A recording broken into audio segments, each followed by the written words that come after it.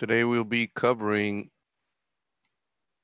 T9, assisting clients using a friendly communication. This session is going to prepare you to communicate with clients in a friendly, kind, and unintimidated way. Being able to manage all kinds of clients, including the ones that are upset, is key for us. Have to understand that not everybody is all warm and friendly when they come into these call centers or physically walk into these facilities. We need to be able to demonstrate active listening. We're not active listening to the customer and just assuming what is it that they want, that could also be able to frustrate them. As here in the US, nodding and acknowledging that stuff is happening, making eye contact, paraphrasing what the person said is key, not word for word, but paraphrasing and what you believe you understood. Because if you just sound like a robot saying exactly what they just said, be that you may have photographic memory, congratulations, that might actually tick them off.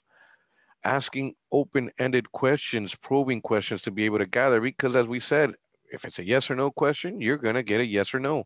You're not going to be able to dig into the actual root cause, be able to explain concept, eh, sorry, complex issues to the user. As we stated, we can't just be talking to them in the technical jargon. As soon as we start spitting out acronyms and or stuff that have no clue what you're talking about, you're going to frustrate the customer. So we need to be able to, again, be able to speak that customer friendly language where it is up to their level. Next is to be able to list and demonstrate the nine steps involved in assisting an upset client. We have three key principles in client-friendly communication, which is obviously, as I stated, ask, sorry, act, active listening, asking probing questions, explaining concepts in a friendly language. Those three must happen obviously have sometimes we may have some clients that may be able to understand but we try to match their language. We can't just full blown go into the technical language assuming that they will be able to understand. Therefore if he, that person happens to spit out the words from their mouth cpu i know that i can use cpu i'm not going to always say central processing unit. I may say computer to the user right? They're not going to understand all the intricacies of a difference from a SATA, IDE, and anything else that's in there. That's for you to know and nothing for them to find out. Sorry, lost my train of thought there. Assisting upset clients and resolving problems before they escalate can help save you time and money. You need to be able to remain calm and make sure that we do not take this personally. It is your fault, so get over it. As I said, just that little sentence by itself hopefully calms you down. You are working for this company, you represent this company, remain calm. You are at fault, so don't take it personal. Use your your actual listening skills to be able to get to the root cause show that you have heard and understood by maybe obviously paraphrasing, ensuring that you're nodding in appropriate times and making the eye contact with that person, expressing sympathy when necessary. Obviously, you're not going to say, I'm sorry for everything. Just need to make sure that when it is necessary and it is when the person is very upset that we apologize and or calm down that person and it must sound sincere the moment that we just say yeah i'm sorry it's joe again you know how he is. Doesn't sound from sounds like if you're actually blaming somebody more than actually apologizing. Next is to find a solution. Start the solution in motion and communicate with appreciation. We need to believe that we work for disney. I will stick with that until i die. This is one of the reasons why I love going to Disney is because they will guarantee for you to be happy no matter what. Can anybody prove me otherwise when they were in Disney and saw, forget about you, maybe you never had a bad experience, saw anybody having a bad experience in Disney? Have you seen a fight in Disney? Yes. I saw a fight. Yeah, I saw it on the internet. How long did it last? And you saw it where? I'm sorry. YouTube. There was a really no, no, no. Does it... Oh, that YouTube video. I know what you're talking about. How long did it last? Yeah. I don't know, like maybe like a few minutes. I don't know. I'm not, I don't know A how few long the minutes video until the was. cast, until the cast security got, got a hold of it. Oh, yeah. Have you ever seen anybody get busted for stealing in you, in Disney World? Don't they put Disney you World. in like Disney jail? Don't they put you in Disney? Yeah. Don't they got Disney They'll jail? put you in now? Disney jail, you're darn tootin'. You're darn tootin'. Have you ever seen anybody arrested in Disney though? No, they No. escort they are the quickest in making sure that any scandal, anything, it doesn't matter what it is, it is so quick in Disney World, mind you, because not all the parks are the same, but Disney World itself, the main park, it has several floors under. You never even see a cast member. Have you seen Cinderella getting in with you on the bus? You've seen if you go to Universal, i'll bet you 10 bucks you've seen the Universal guys coming in and out of the park. You've actually probably seen them on your bus coming in or on the uh the boat ride coming into the to the, the park. You won't see that in Disney. All of them come in through the bottom. The same thing at the moment there is a problem, they'll get rid of you so quick that it's not even funny. You disappear into the nothingness because of the fact that that that friendly beautiful atmosphere must remain. Anyone know why disney came up with it and how he fell into this? Why Well- disney world or disneyland? Let me rephrase that. Why disneyland came into play? It's a magical land. I close. But i tell you it has to do with service. I'll give you that much of a clue. Nobody?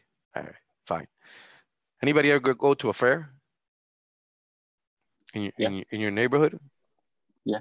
South Florida Fair. okay south florida fair what what do the operators look like to you Uh, they look like crackheads, low key sometimes. That's his, that was the shock. That's exactly what happened to Disney. He showed up into to with his daughters to a fair, what each which was a ground fair, a big fancy fair, whatever schmo, and then you see, come on aboard, get on the ride. Rusty all good and God only knows if it's falling apart ride. He said, This is impossible. I got all this money, and this is the best thing that I he came up with the idea. You have to have it look beautiful. They're all nicely dressed. You go to again, you go just down the street, go to Universal, and I bet you they're not in spick and spam, all buttons in a certain spot, and all of them dressed nicely. You go to go to Universal and look at the operators and tell me you don't see a difference. There's even in that town of Orlando, you'll still see a major difference. He believes that you must have proper service, service with a smile, and you must feel like if you're at home, like if it's the most what what's the phrase, most wonderful place in the world. If you don't give that to these people here in the service, I'll tell you, in the service of computers, you're gonna have people who are upset. And how can we get this? We're gonna be playing a game now in reference to active listening with our people. You have now heard already and learned how to address a client themselves. This session, we're going to be able to focus on the art of a conversation. One of these things that we're going to be learning is itself and being able to listen and, and being able to understand. How do you think your clients know about the types of technology you'll be assisting them with?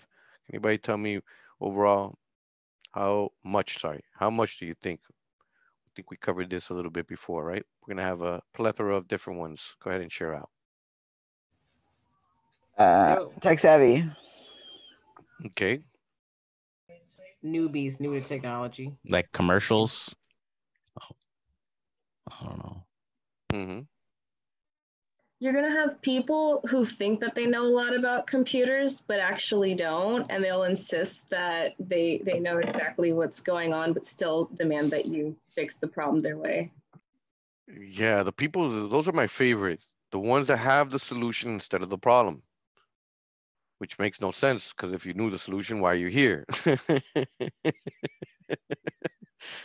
But either which way, yeah, those those are the different ones, the ones that are tech savvy, the ones that believe they know what the solution is uh, to their problems, and the ones that have no idea. There is several of them. Either which way, we should hopefully be more or less giving them a same warm and fuzzy feeling no matter who they are, right? So when assisting clients overall in their technology, many of them are friendly and kind. However, you're going to be dealing with some of them that are very challenging and maybe upset.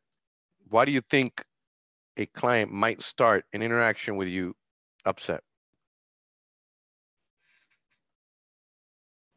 Their computer is They probably broken. tried fixing the problem on their own and they got frustrated not being able to figure it out. They could have a non-computer problem they're taking out on you. Those are worse, right? Maybe they're just having a bad day and then they just had it. Latest and greatest iOS just came out. It didn't let me wait. It pushed it. And now look at this piece of junk. Why'd you do this to me? Or maybe You're gonna get it. like, Or maybe also like they're going through some uh, like um like say they have to like meet a deadline and something happens. They may be in a rush things- too, right? Exactly. They might have their own stress factors on top of this factor that the actual computer came out and took it personal and decided to die on them when they needed to create that presentation. Why'd you do that to them? Arturo, that's mean. That's very mean of you. And you that's see- how I roll.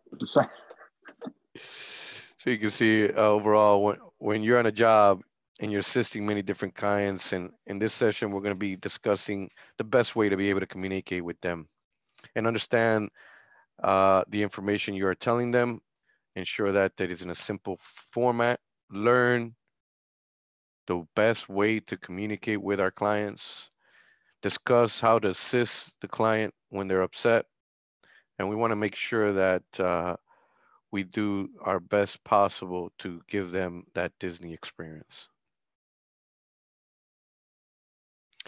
Gonna be playing a little game here.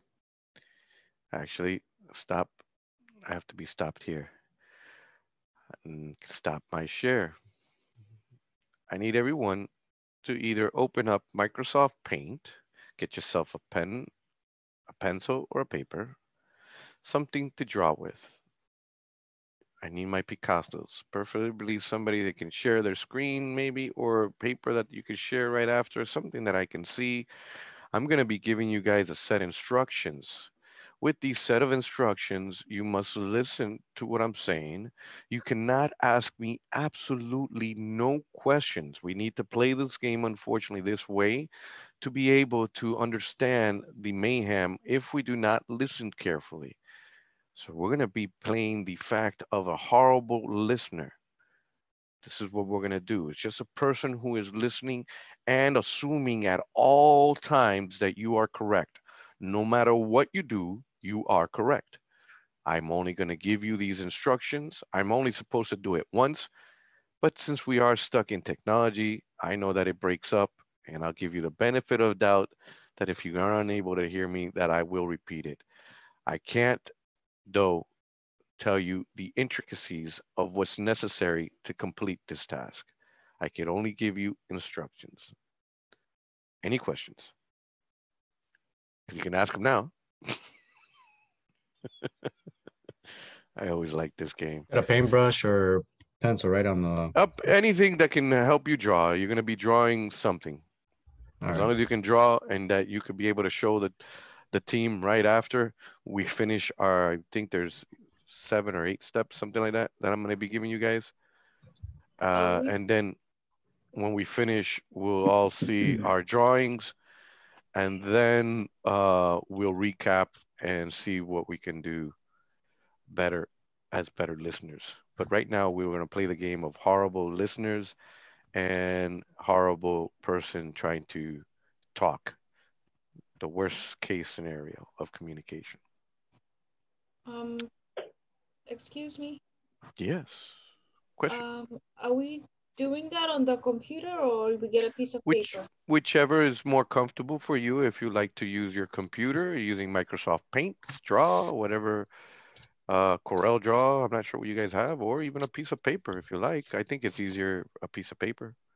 Okay, thank you. So, so we when you're gonna just tell us to do draw something and then we draw it, right? Mm-hmm. That's right. You ready, Picasso's?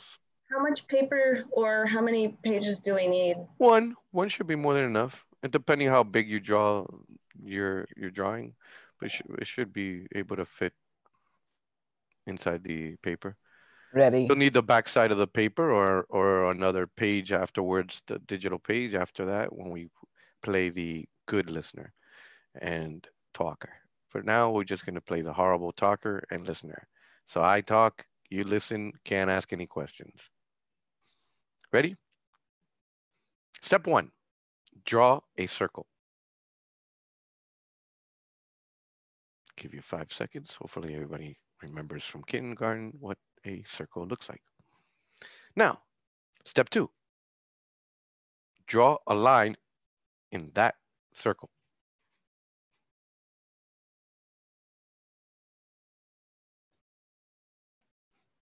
Step three, draw two dots in that circle.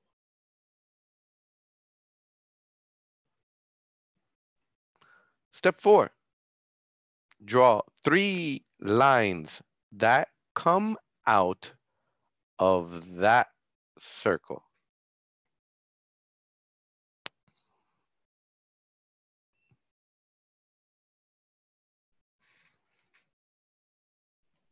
Okay. Now, step five, draw another circle next to the first circle, slightly overlapping the original circle. Then draw two lines connected to this circle. Draw two small lines connected to the first two lines you already have drawn. Can you repeat the last one? The Yes, one I can- The last one too. I'll, I'll repeat the whole uh, paragraph of step five. So draw another circle next to the first circle, slightly overlapping. Then draw two lines connected to the circle. Draw two small lines connected to the first two lines you already drawn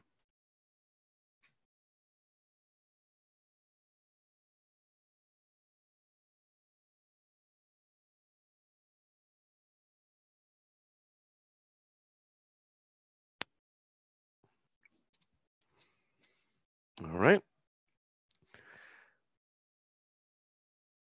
Step six, draw another circle. Step, huh? Draw another circle, step to the second one slightly overlapping.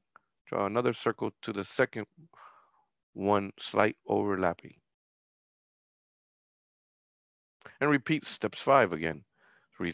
That means basically draw the two lines to this new circle, then draw two small lines to those first two lines that we just drew.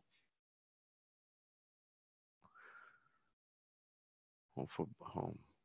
We My brain have- hurts, man. My brain hurts. We should have a spaceship by now, hopefully. You're not even any nothing similar to. Two lines? Wait, a spaceship? It, it could be an alien spaceship.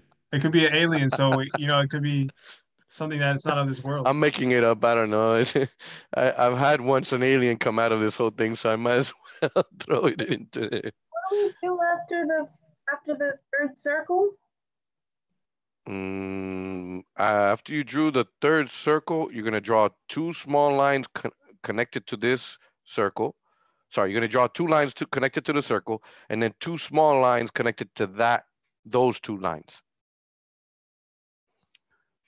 Draw two lines connected to the circle. Then draw two small lines connected to the first two lines already. So those that have a piece of paper, go ahead and hold it up here to the screen so that we could all enjoy.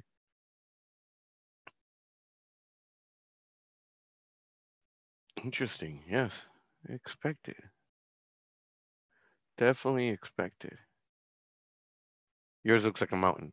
Uh, yeah. Definitely is exactly what I expected. If Can I share my at- screen? Yes, go ahead. Feel free if you have a digital thing. My drawing looks nothing like that, by the way. Yay, yes, this is exactly it. Yes. Thank you. That's Robert's. Perfect.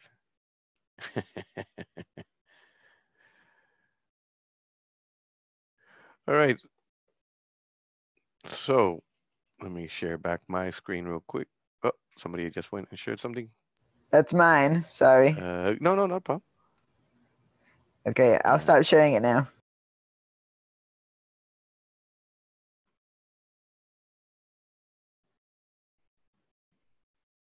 I was a little thrown off at first because in geometry we learned that a line is different than a line segment. Um, and so my line, I was trying to make my lines off the page because lines don't ever end. You are correct. You see how what happens here is in the pre and what we just did right now, if you notice that these steps are so to interpretation that if we're not actively listening and doing our part, we're going to get a plethora of things that's going on. When I said draw three lines that come out of this circle, we had no idea where these things were going to happen. Those were the ones that usually just go and make us completely have different types of drawings because of the fact that everybody has a different I didn't say line segment like she said, I said line. So depending on everybody's interpretation of what they believe a line is or how long the line is, I never, nobody was able even to give me a probing question, right? They weren't even checking for understanding. It makes it very, very difficult if we're not using the uh, tools correctly, or sorry, the things that we learn eh, in reference to making sure that part of active listening is to be able to ask those probing questions and to maybe repeat that you understood correctly what I was saying. At no point did you have this chance. You had to stay quiet throughout the whole process and only assume that you at all times were correct. Had this been a given case where they were trying to describe a problem, you could see that your problem came nowhere close to what I'm saying or to what anybody else is saying because we still don't know what I is it that I wanted. I'm gonna pause there the recording. The ice cream truck just passed by. Therefore, my belief is that we should go and catch up with that ice cream truck. I'll see you guys in an hour. We'll get started here, guys. Reference to assisting our clients. Who can remember what four steps of addressing a client itself that we started off with? Smile, Anyone? I'm sorry? smile, That's one, uh-huh. present yourself, Yes. Offer help, Mm-hmm. and then thank because That's the client. right. Spot, that is correct. Smile and welcome as they were coming into your house. Be as sincere as possible. As we noticed, this first one is very, very difficult. These first two, or sorry, these first three steps must come out as sincere as possible. We need to understand that unfortunately this gets tedious after so many times we've done it throughout the day. Trust me, I know what it feels like, especially after the hundredth something call in a given day. And you look up and you see that queue and that queue still says 90 something on that wall. You're just like saying, is this gonna ever end? Either which way, uh, we need to be able to ensure that every customer has the same Disney ass aspect feeling and we are as friendly as possible. So after you have greeted a client, it will be time to begin discussing the client's needs. Whenever you are working with a client, there are three separate skills that we're gonna need. As I said, active listening, asking those probing questions and explaining the concepts where it's much easier for them to understand. I made it almost impossible for you to understand, especially those that were mathematically inclined and understood what a line was. It was on purpose. That name or those words were used just to see the different variants of knowledge and understanding of what something is. Everybody's going to have a different idea of what the concept or the, the actual thing is if we do not clarify. Do we agree? Did anybody get the exact same drawing as the other person? No. Give it to mommy. Give I think we all got a uh, circle. We could all agree. We all got maybe um, lines in there for sure, right? We could all say we had the amount, the same amount of circles, dots, lines, hopefully. We could probably count that and hopefully we got those right. Now, we're gonna play the game. Well, we're gonna play active listening the right way. Can somebody tell me what would be a good thing to do when I'm gonna give you these set of instructions? Flip the piece of paper, open up a brand new paint, whatever you like. We're gonna play the game once again. I'm gonna be reading out the NC instructions, but now we're gonna play the game of effectively communicating with active listening. Can somebody give me examples of what you should be doing if you're actively listening and doing the three key principles of client-friendly communication? Asking mm-hmm. open-ended questions. Okay, You nod. for understanding, contact. okay. I'm sorry, Keep eye contact. okay, Active listening. okay. Repeat back the thing that you're supposed to do. Uh, Yes, right? So you're asking open-ended question, probing questions to gather the information, right? As Soon as you've gathered your information, shouldn't I check for understanding at that point before I do something about what I'm gonna do? I got it. I grabbed it. You answered all this stuff. I'm notating. Should I just now assume that I'm right? No, you should check for confirmation. right? So we would want to make sure, hey, repeat it back to that person and make sure that in your own words, if you understood exactly what was that they wanted. So there. Now we're going to go and play the game one more time. I believe it's the exact same set of instructions. So let me just go back up real quick.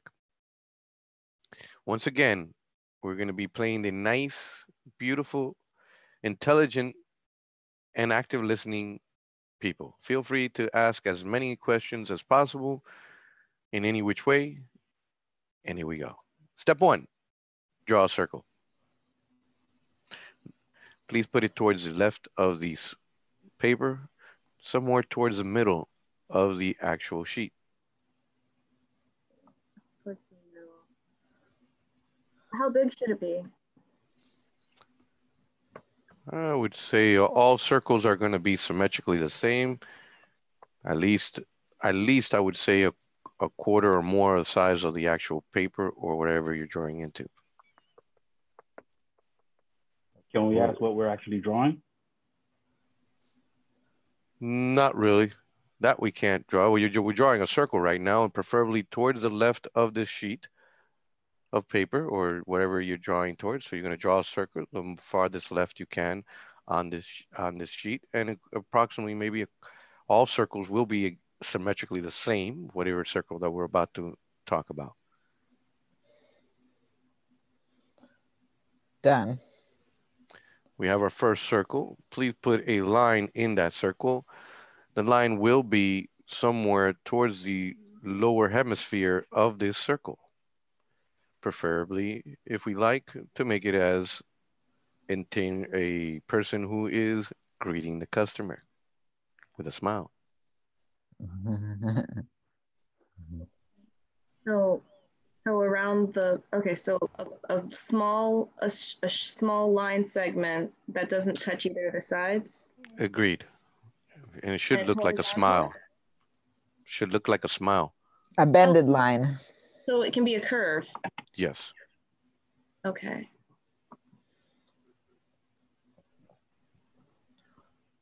Everyone okay with the first two steps? So we drew our circle somewhere towards the left. Now we're inside this circle, drawing a line on the lower hemisphere of this uh, circle and trying to make it look like a smile. If we could please place now on step three, two dots above this line inside the circle, representing hopefully the eyes of this creature. The creature. It's How something, right? big should the dots be? Representing eyes. I will let your leisure of how big your eyes are on that face.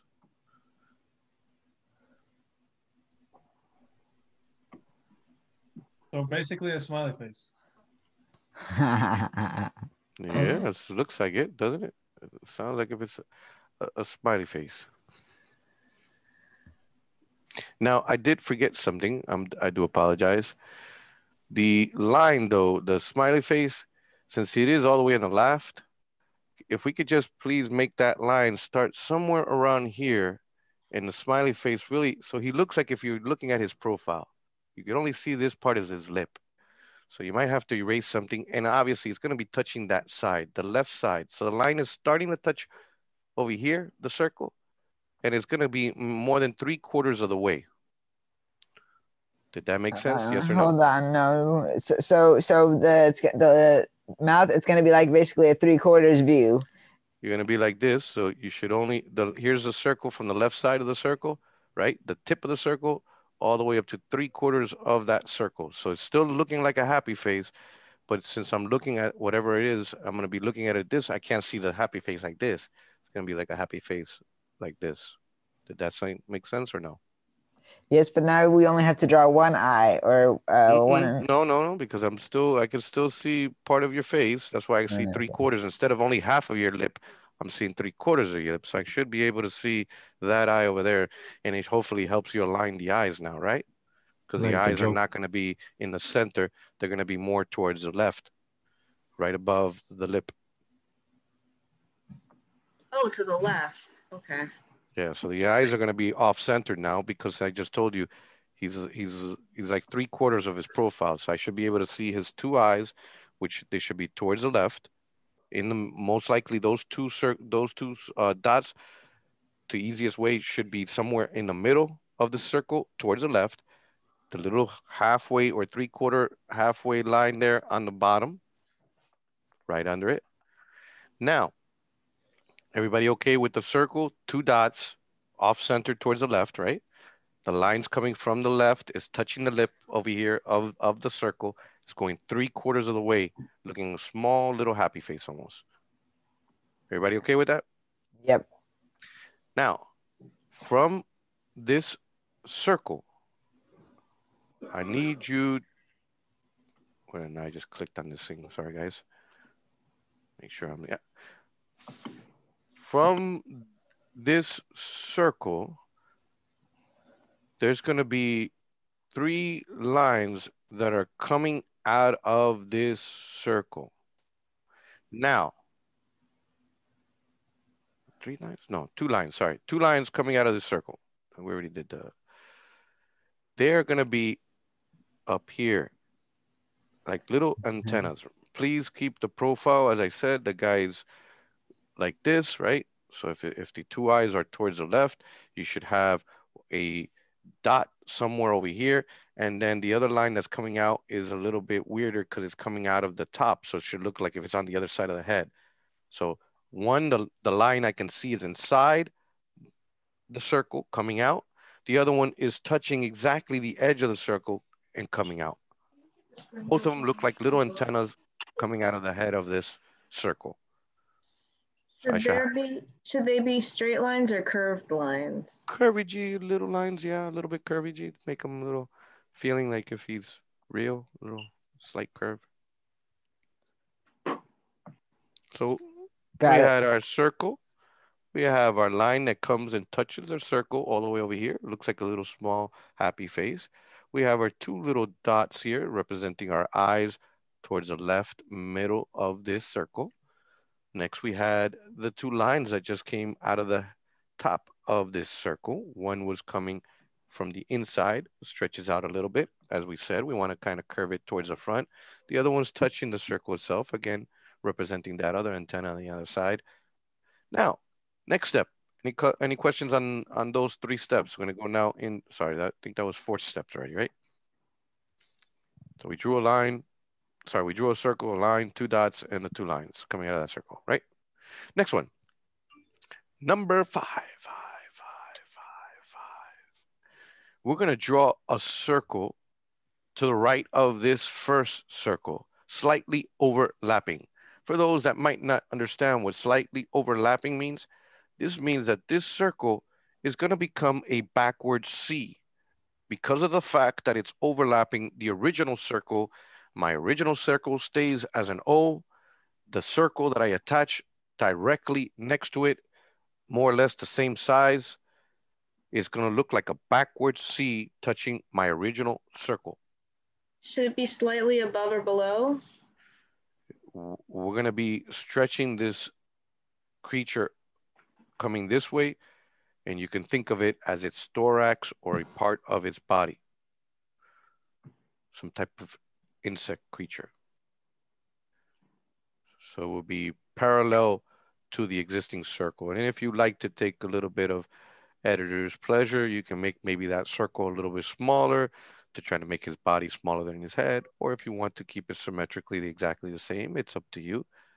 But it must Hold be a backward C touching the original O a Now- backward C Mhm. touching the original O, So touching on what um, the right side of um, it, on the Nicole, right I side of it. The, see right side hand? of it. Yeah, I understand. See The right side. hands? Yeah, yes, yes. Okay. See, this is what you should see right on the right side of it. He should be touching right next to it backwards. It's a circle, but since it is overlapping, I can't see the other part of the circle. Do we agree? Yes. All right. Now, we drew that circle. On that circle, draw two lines coming down. My circle is like this. I want a line like if you look, one line coming this way and the other one coming this way. So you're gonna have a line going that way and a line going this way. Maybe depending on the size of your creature, I wouldn't make it too big. Most likely, I would say apparently looks to be, yeah, definitely the size no bigger than than than the actual inside of the circle. That what is that? The diameter of the circle. The line is now bigger than the diameter of the circle. So it's gonna look like a backward C with two sticks that represent almost like a A coming out of it, like the bottom of an A. You know how the A goes like this? So you're gonna see those two lines coming out of this backward C.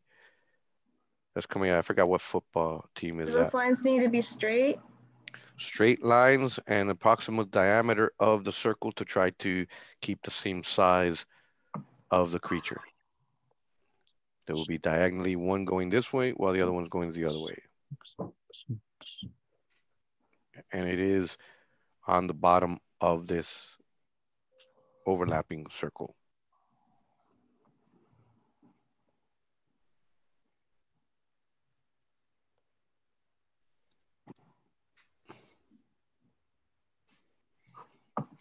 So we got our two sticks that came down.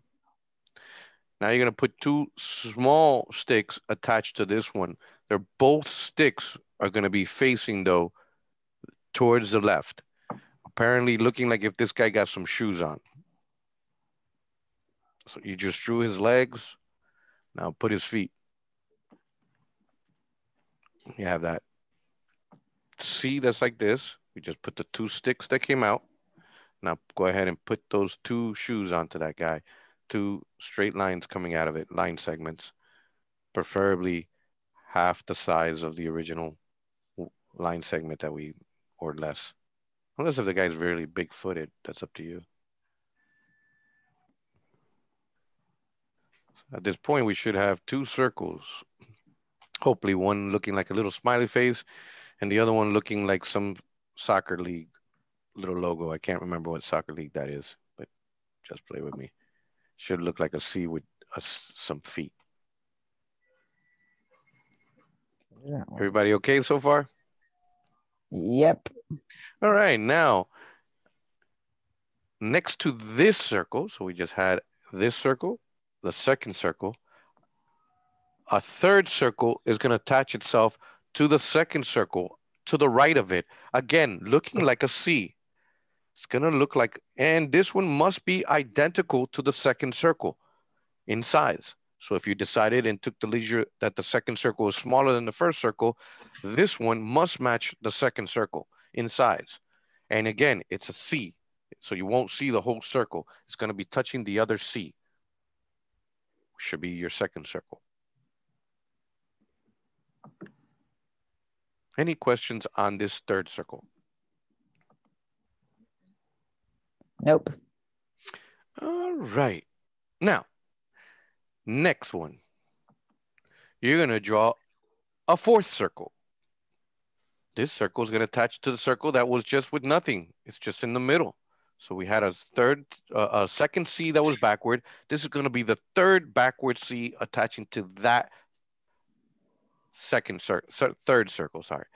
So it's gonna be our fourth circle in here. We have a full circle, two backward C, and now this one is a third backward C that's attaching itself to that last backward C that had nothing attached to it except for the second circle. Is it gonna be the same size as the exact the same size two? as as the other two? Yes. On the right of the second semicircle guy, all the way at the end.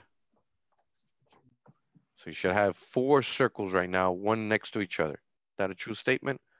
Three of them are overlapping, so they look like three Cs in there.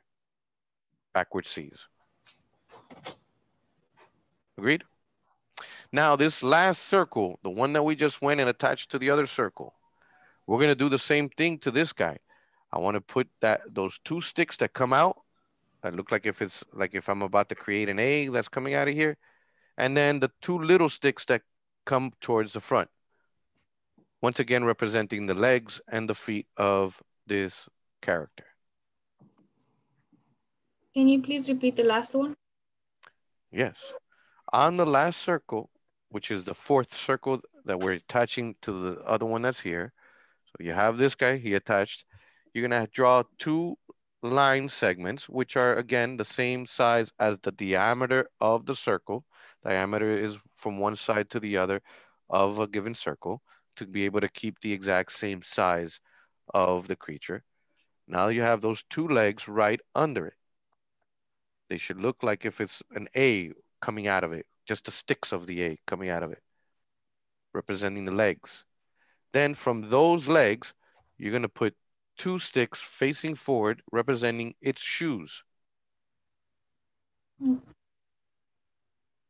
Towards the left.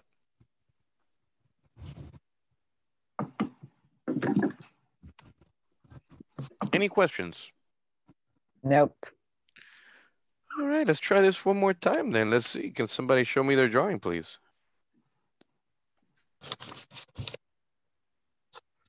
That's mine. there we go. That's one. Let me see. Who else here on the screen on the recording? Hey, we got we got it pretty close there. We're getting everything's starting to look a little bit better. All right. Nice. Nice. Right, how do I share my screen share? I see you, Kel. Am I sharing? No. Uh, not. y- Oh yeah, I can see your. No, no, that was that's Fatia. Sorry about that. I can now. I can see it. Yeah, definitely there. There you go. Can uh, can somebody tell me? Do these at all look the same? Did we have the exact same problem as before? Did any of these look somewhat the same? No, they're almost all the same, even though there's slight variations. Small variations. Somebody We're all had a caliper before. Yeah. I like it. Really do enjoy this I- exercise. I think Robert had it. Very Oh, in- So, how did it feel this time drawing uh, in this activity?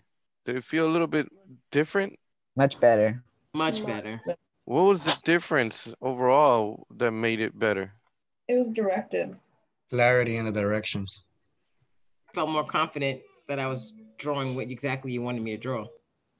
Yep. Last time you had us drawing lines all over the place, but this time we knew exactly where the lines to go. So always remember that even if the user himself uh, is you're you have difficulties trying to explain something, you have to do your best to try to get them to where you want. You guys have the pleasure of having these remote tools to be able to remote, but just getting sometimes for them to get to the remote in itself could be a challenge. Uh, active listening requires both parties, as you saw the moment that some of us might have stopped asking questions for clarification, we may get something different. On top of it, if we notice at one point, I noticed that I was giving the wrong instructions to the point that I had everybody recreate their face. And I was as being as detailed as possible on what I needed. I didn't leave it up to interpretations on which way this caterpillar must be facing or ant, depending on what you, it looks like a caterpillar to me, but I'm not sure it's all different people's aspect of what it is, right? What else was uh, uh, uh, useful in here?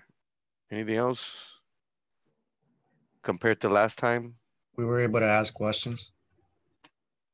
Right? Isn't it difficult when you're not able to ask questions to be able to even take a grasp of what the situation is? So whenever you're quiet on a call and you're reviewing things with a client, be sure that you you do clarify and check for understanding. Repeat back to them and make sure that you clearly understood what they were actually describing, because that is one of the uh, the most problems where we assume we know what the issue is and then solve the wrong problem. Any questions?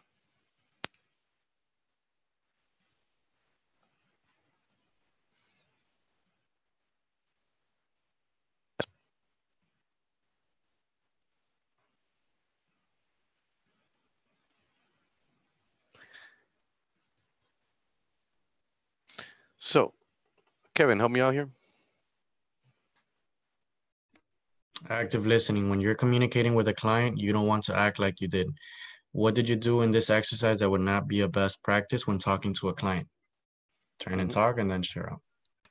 So if you guys could tell me of scenario one from what everything I did to you guys, what is, should I, I not do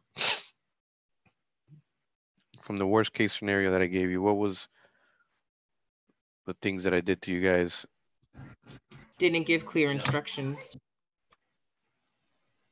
Or confirm that we understood. Right? You just brush past through everything. Like a robot, right? Reading that script that I told you guys about. That's why they're trying to hone down here. What, anything else? I think I was pretty rude when you guys were trying to ask me to, for questions. I didn't, I don't know about you, but I was about to smack them. right? It's kind of frustrating when you're not able to clarify things. So we need to understand one of the key things of acting listening is, is obviously to be able to listen, to check for understanding, do those probing questions, and uh, of course, make sure that you summarize what you believe you understand. So I believe here are the major things that we have. We want to be able to pay attention, take notes, interrupt the client to ask only relevant uh, questions. That one's a tricky one. A lot of people tend to interrupt people and they don't let them finish their, their actual sentences. And it may be inside that sentence the actual question. Or they might actually interrupt and ask something that's not even relevant to the actual problem that they're having. So therefore, we should always interrupt when there's a pause or when we believe that there is a time for us to be able to ask those questions. Read between the lines. As I saw, some of you might have not understood me in some things, so I tried to make sure that I reinforce and take away the assumptions from you. Because the, the moment that you you are fully by yourself and I'm disengaged from the conversation and only a robot, it creates that problem and we have 500 different drawings. Finishing the client sentences, I don't know. Does anybody uh, believe that one's a good one? You should always let the client uh, finish what he has to say. That is correct. Finishing the, the client's sentences is one quick way of getting ourselves into in trouble. Reading in between the lines again or in some and doing assumptions will get us into trouble.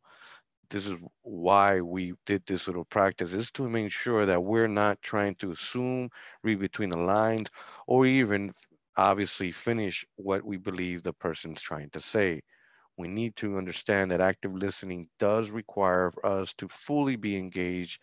We can't be paying attention to anything else. Need to be able to assess the client's level of experience of, with technology. Is that a true statement? It'll help you Yes. with the language.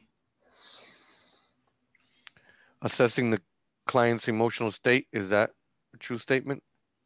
Yes. Listen to unspoken requests. No. Yes. Ooh, like it. I like it. I got a yes and I got a no. Anybody else want to chime? Yeah, I believe it's important.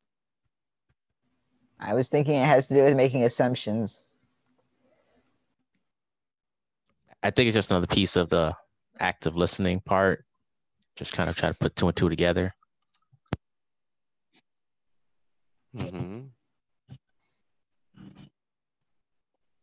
Anybody else?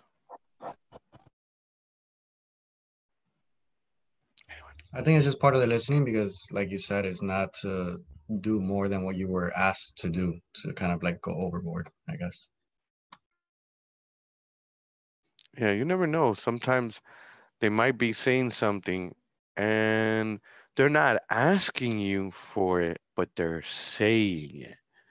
And so that's where we where it comes into the play of paraphrasing the, the part of what they said. When you're doing that check for understanding, you make sure that you understood what they were saying and maybe just go ahead and paraphrase that in there to make sure is this an actual request? Are you stating that you also have this? They might not have thought that they had that, but we need to be able to listen and understand. They might be explaining something and then throw a, a second issue at the same time to us. We Need to be able to decipher, as we stated, we can only work at a problem at a time to the point that sometimes these help desks actually take it literally. You could only call in one problem at a time. That is obviously pro, uh, policies and procedures of giving help desk. Not everybody's the same. Questions, doubts? Now, why would a help desk though enforce where a user, we're talking about in this is obviously got to be internal. You wouldn't do that to an external customer. Why would I do that to an internal customer? Why would I call a, a, help desk and then all of a sudden tell them, I'm sorry, you're gonna have to call back because that's got nothing to do with what you're talking about now.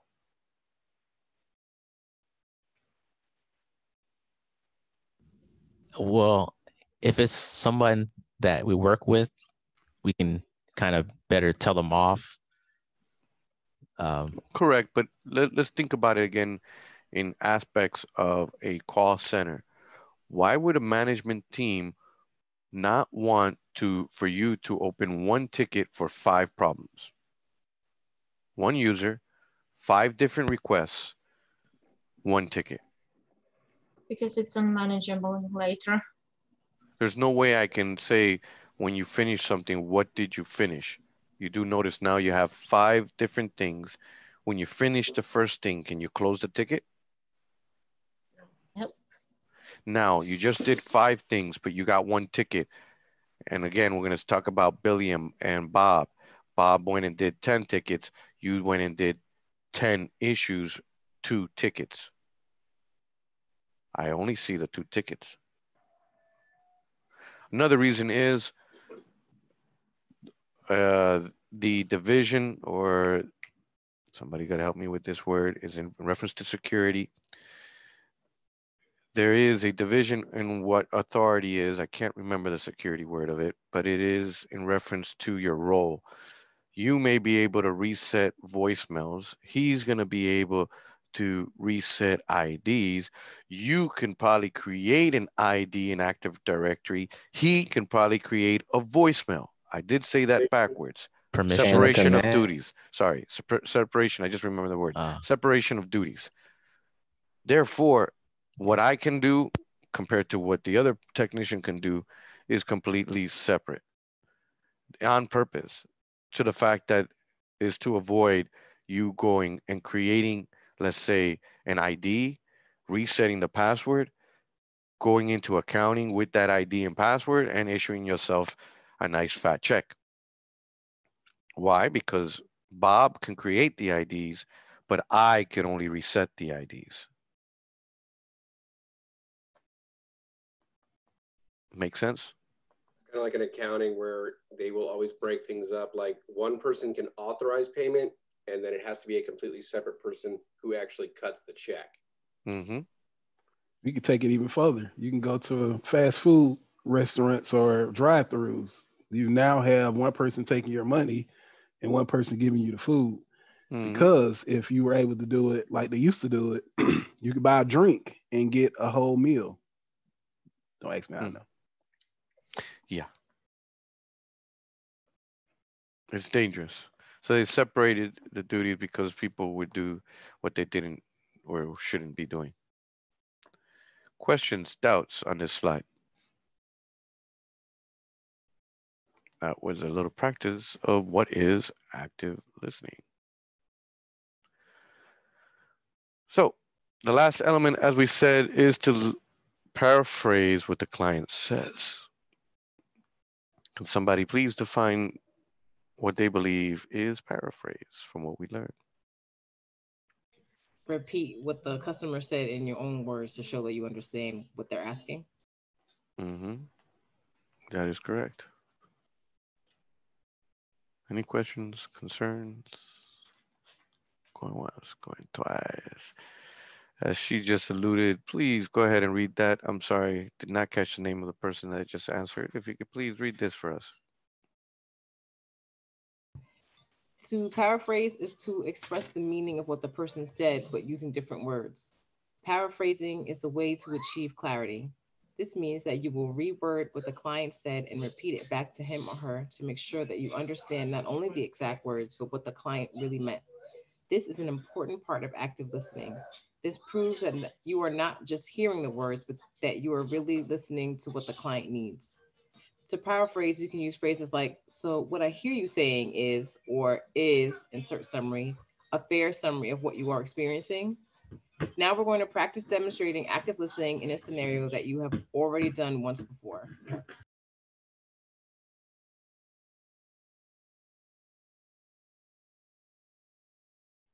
You're muted. Thank you. Thank you. So now I want you guys to go ahead and take out your two drawings now and then compare your two drawings to hopefully this guy here. By the end of this whole little thing, we could see that compare the first one where we weren't actively listening at all and or using client friendly language. There is a major difference between what we believe and what reality is. Did anybody get anything that looked exactly the same? Because that would be interesting.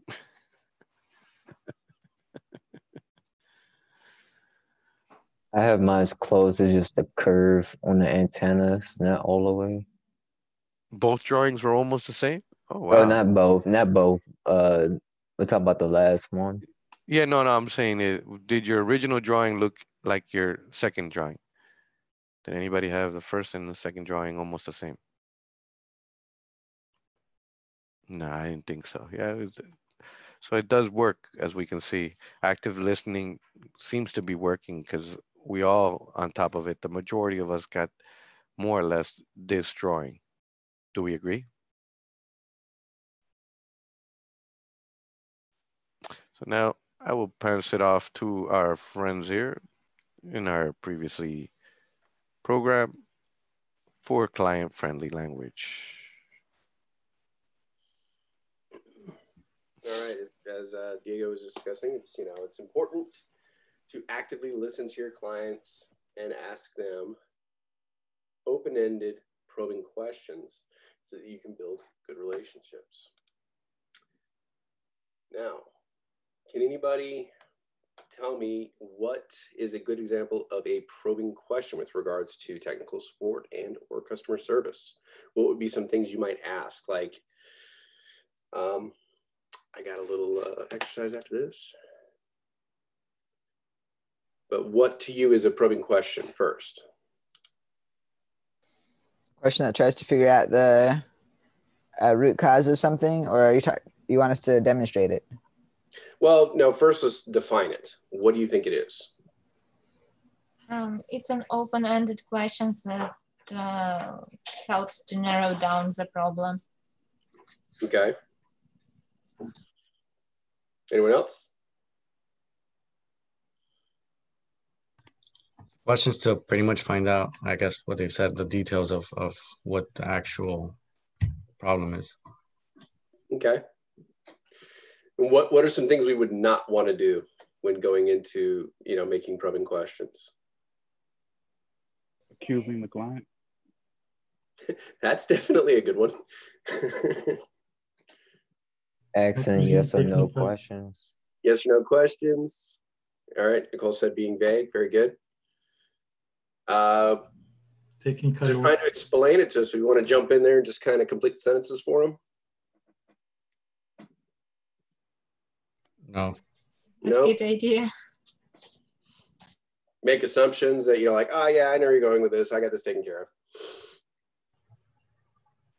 And you also want to be careful not to ask questions that are directed towards the answer you think it already is. Yes, because then you would have a um, confirmation bias. You think you know what it is, so all of your questions are going to be guided in that exact direction. I like that. Very good.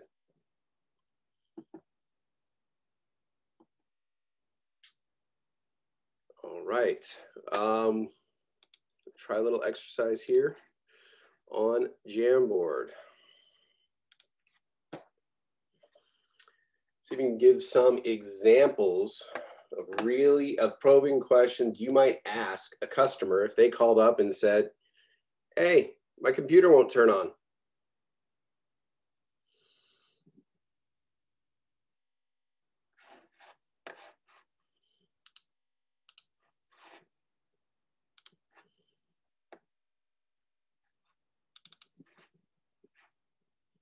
Is everybody able to get to the Jamboard?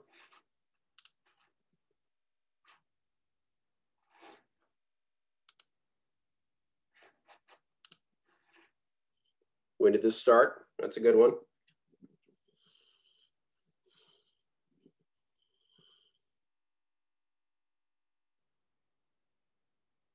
Well, it hasn't started. That's why I called. So making any noise, that's another good one.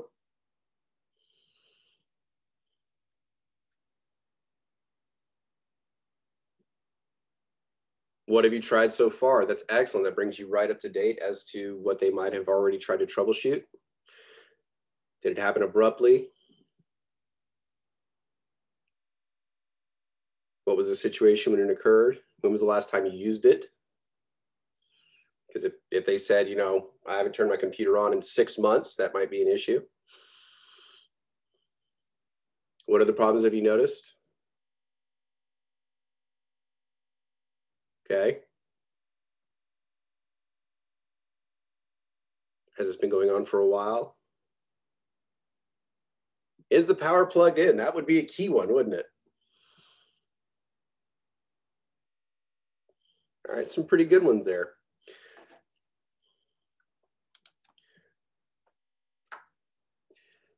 And sometimes you're going through the troubleshooting process and it, it, you can't seem to put your finger on the issue. There was an example of this exact thing where a gentleman called into IT and was trying to get the computer to turn on. They couldn't figure it out, tried everything they could think of, couldn't get it to work. And then the technician asked, you know, can, you know, you check the plug in the wall, but can you check, you know, walk around to the back of the computer and check the computer to see if the cable is snug in and stuff like that. And The guy goes, hold on, let me get a flashlight. And basically what the example was, the guy's power out was at his house.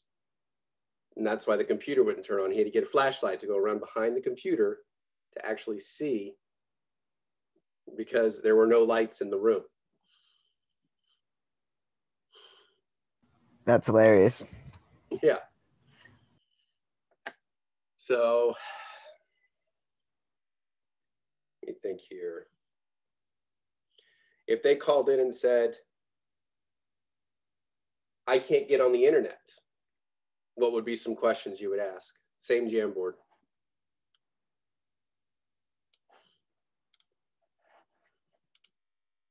Can you repeat the question? If the customer calls in and says, hey, I can't get on the internet, every time I open up my Explorer, it just says, you know, page not found.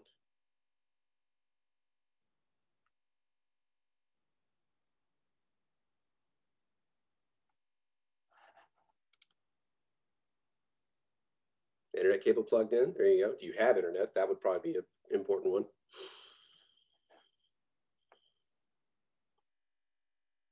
I'm seeing a lot of yes or no questions though. Yeah, that is true. These aren't probing questions. These are yes or no questions. When was the last time?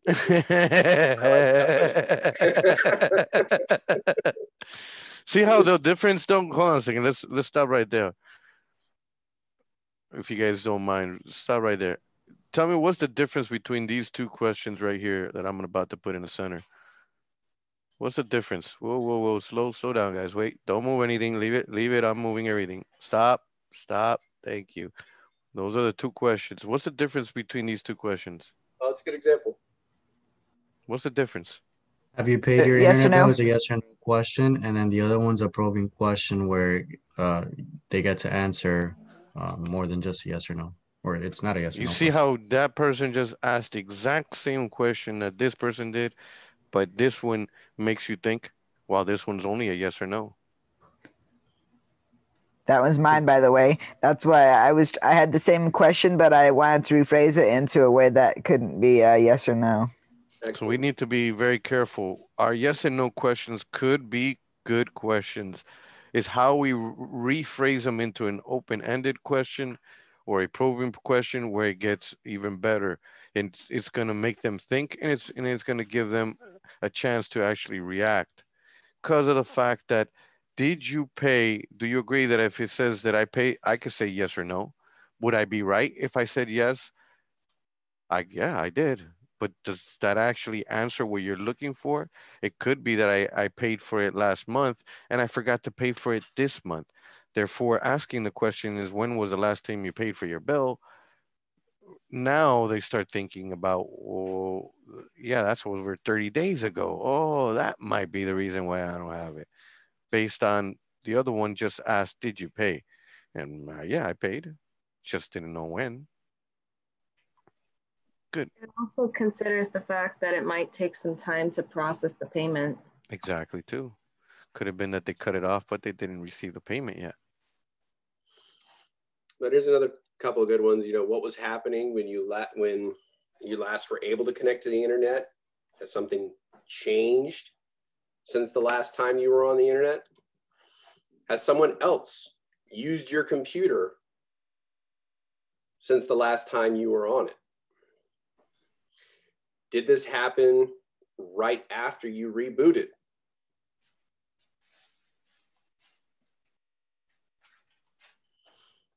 Okay. Any other? You know, what have you done so far to try to correct this issue? Walk me through the steps. You know, these would be good questions to kind of try to lead them, you know, give you a good idea as to what's already been done, even though if they've said they've done something, you still, it would be a good idea to go back and redo it yourself just to double verify.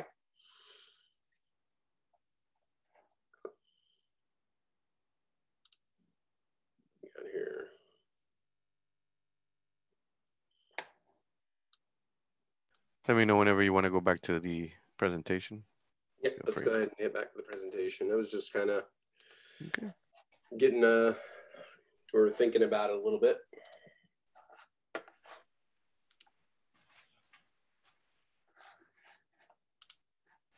There we go. Let's see here. Natalio, can you please help out on this one? Um, yeah. Uh, client-friendly language. Asking probing questions. A probing question is a question that relates to what the client is saying, but that tries to get additional information. It is asking for more specific details to get a better and fuller picture of the issue. Asking good questions is a key communicating is a is key to communicating in a client-friendly manner. Uh, by asking the right questions, you can improve communication by getting better information and building stronger relationships. It is important to ask good questions because the quality of the question will directly impact the quality of the answers. Very good. Just like we were talking about with the uh, gentleman who was talking with somebody about their computer not being able to start and the guy needing to go get a flashlight so he's able to see, you know, a good question would have been, has anything changed like the power going out? You know, if you ask about That's the a good one. That's a Do good what? one. I love that one. That's one of my favorites ones uh, of uh, troubleshooting 101. The guy had no idea why the computer's not working. He's got no power in the house. Like, Yeah. So, dude. And there, I mean, there was some, there were some really good ones early on. Like uh, a tech was working with a guy, calls in, and he said, "My cup holder on my computer is broken." And typically, you don't want liquids near your computer, so people are trying to figure out, you know, was this a promotional deal? You know, what was going Mhm. on? Where, where did this come from? Well, you know, the, so the first cup holder came out in 19, I think it was 90 something. Yeah, I remember that. Yeah. Yeah. That's true. It And, was, it uh, was true. And then he was like, you know, where is this cup holder? You know, like where does it attach and all that stuff? And he goes, well, you push a button and it comes out, and then you just put your cup on it. And that is the truth, my friends. It's a is the CD truth. drive. Yes. It's a CD-ROM. You know how many people were using a looks like CD-ROM as a cup place where you holder? a coffee mug. You know how many people were doing that? He's- He's not lying to you, man. He was there was plenty of people. Because especially the one that has the plastic tray that comes out, it Yeah. looks so much like if it was a cup holder that they literally were putting there. Yeah. So when you're, eh, you know, when you are working in IT, you will come across things where, you know, it will absolutely amaze you what some people will do. So, but in order to kind of get you down that path to be able to help them, you know, would you want to use language that's very heavily technical when talking with customers? No. When you're when you're asking the questions, you know, like, you know, hey, um, when's the last time you refreshed your DHS server or DHCP server? Yeah. Would the customer understand that? Yeah, ID 10T error. You know, so you'd want to, you know, simplify things a little bit and try to, you know, be able to explain it to them and ask them questions to where they can kind of, you know, get you to the right answer. All right. See on this one. See.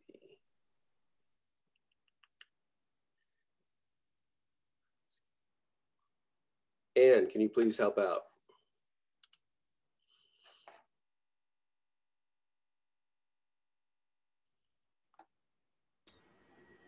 You're muted. The client uh, friendly language, Yes, ma'am. um, asking probing questions. Imagine that you are standing on the street outside your house. A woman comes up to you and says, Help, I can't find my hotel. You can see that she's holding a tote bag with the name of a hotel on it. You could assume that you know she is staying in that hotel and gives her and give her directions. But you know that good active listening means that you don't make assumptions. What type of questions should you ask this woman to make sure to help her the best way you can? All right. What's some examples of questions you could ask this this woman to help her out. what's the name What's of the the name of hotel, the hotel you you're staying? Hotel. Okay.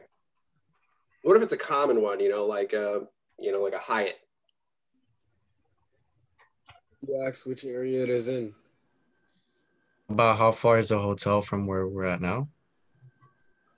Well, she's asking you. She doesn't know.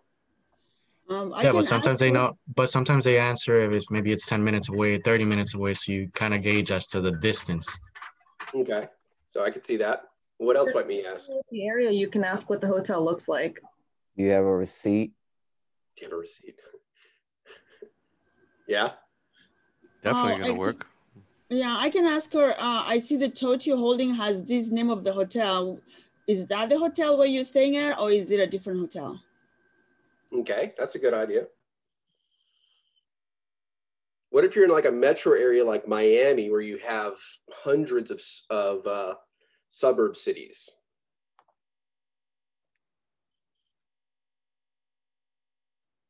Or like the Dallas Fort Worth area. I think there's like a thousand cities that surround Dallas Fort Worth. It's absolutely amazing how many little cities are around it. Hmm. Maybe- What city is Can your I ask hotel? what part of town? What part of town is in? True. Any landmark? Landmarks, yeah.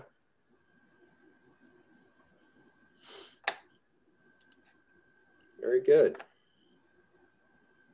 These would definitely be good, you know, good questions, Scotty. I mean, instead of just assuming, you know, hey, she's got a bag. I know it's two blocks over. Yeah, it's right there. You know, guide them down there. Then they get there and realize that, you know, it's actually in the wrong city. You know, they're five miles away.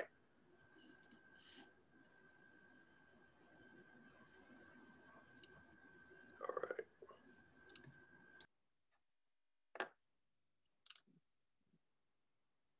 See. Shiloh, can you please help me out?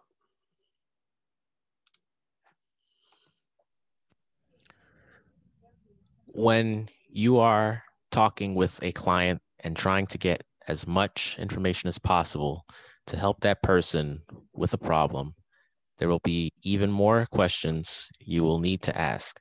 Imagine that a client comes up to you and says that this computer will not turn on. Even without considering what the specific problems might be, what type of questions might you want to ask? Oh, we kind of did this one already, but I mean, we could go over some more if you want. You know, what other what other questions? might you? I want to know where that ice cream truck is at. Uh-oh. We're gonna pause up right around there, please, guys. If we can take. You just warmed up here. Uh, Michael, can you please assist, sir? Got it. Client-friendly language, asking probing questions. You always want to ask as many specific questions as possible. Taking the time to actively listen and ask questions will ultimately save time and money. Your probing questions should be open-ended questions. You already learned about open-ended questions when we discussed troubleshooting. Open-ended questions will require your client to think, reflect, and provide you more information. Examples are, what happened after you rebooted, or what did you try to do when installing the update? There you go. Not being too specific, not asking yes or no questions. And most importantly, listen to what they're saying. Not thinking about what you're going to say next, but actively listening to see if there is critical information being given. Because if you're all you're doing is waiting for your turn to talk so that you can jump in and you know ask your next question on your script, you may miss very critical pieces of information to help you solve your client's problem.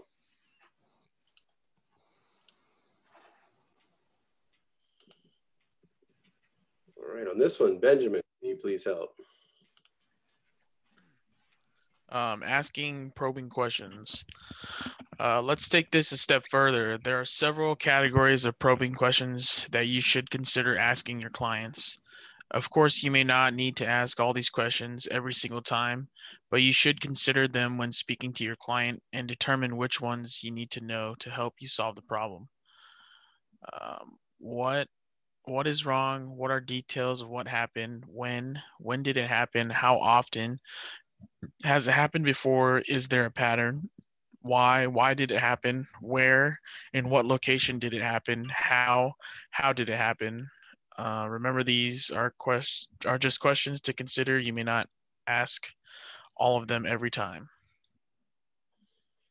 Exactly, but there are times forgetting to ask them can absolutely be critical. You know, like my tablet isn't working anymore. I had it yesterday, it was working just fine. Um, but now today, I, I just can't seem to get it to turn on. Well, where was the last place you were using the tablet where it was working? Well, in the bathtub. You know, I mean, some of this stuff, if you forget to ask, you may miss critical points. Okay. Arturo, can you please assist? Yeah. Um, asking probing questions. It is so important to actively listen to your clients and to ask them open-ended probing questions so that you can build good relationships and learn any important details. But your client won't, won't do all of the talking. You will also need to explain certain things to your clients. Sometimes you might just fix a client's problem. More often, though, you, you will talk a client through a situation that he or she will perform. Or even if you are directly fixing an issue, your client might, might want to know what you have done. In all cases, when you discuss issues with your client, client-friendly language will, will be especially important. What do you think client-friendly language means? All right. Um, who can give a good example of what they think client-friendly language means? What would you need to do? Not use technical jargon. Explain it as simply as possible. Very good. Acknowledge the issue. Excellent. Uh, be attentive to their questions and or or concerns. Absolutely. Also remembering the uh, exercise we just did with Diego, drawing that fun caterpillar. Um, as wonderful as a tool as remote desktop is, oftentimes we won't be able to use that tool if they can't connect to the internet, if they're having power issues, things like that. So we're actually going to have to walk them through the steps of everything that they need to do. So we have to be able to explain it in such a way that it's easy to understand. It's, you know, quick and concise. They can follow our steps well and make sure that we're affirming that they're understanding exactly what we're telling them. You know, can you push the little button that looks like a window on your keyboard? Well, where's it located? Well, it's on the bottom, you know, bottom left-hand side. Are you able to locate it? You know, it's next to the control button. And, you know, they will affirm beyond that as they're giving instructions. Yes, yes. Oh, yeah, yeah, I found it. I know where that is. And, uh, you know, make sure not to get too technical with your jargon. What were the three types of languages we needed to learn to speak? Diego spoke about this earlier. Manager, Okay, manager.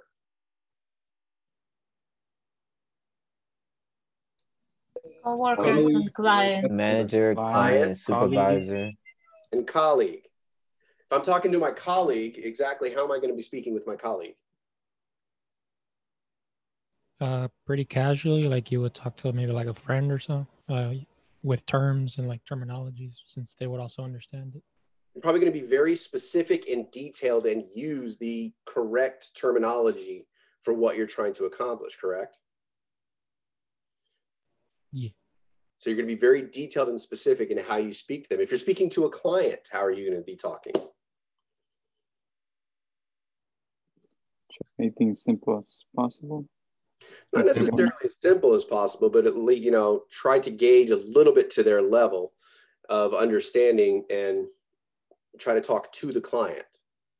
Because you will come across clients that actually are tech savvy and they might get quite frustrated with you if you know if you're speaking in extremely simple terms so to a degree you kind of have to feel out the client to understand their level of technical understanding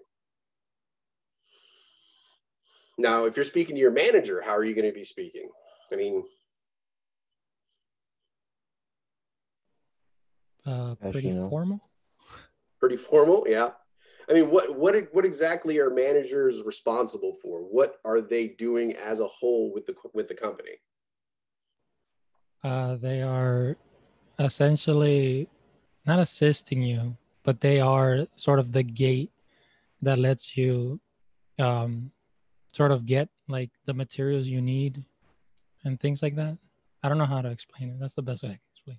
The resources of the company. Yeah, there. They're going to control, you know, whether you're going to get funding, whether you're going to get the software you need, and all that stuff. Are they going to care about all the minute technicalities and technical jargon that you're going to be dealing with?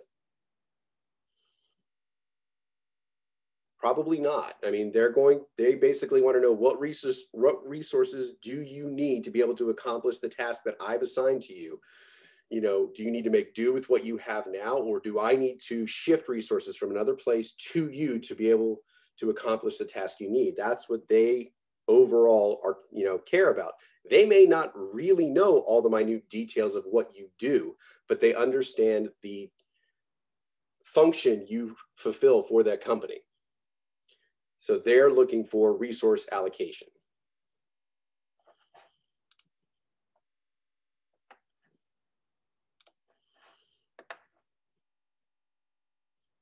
All right, let's see here. Elizabeth, can you please help out?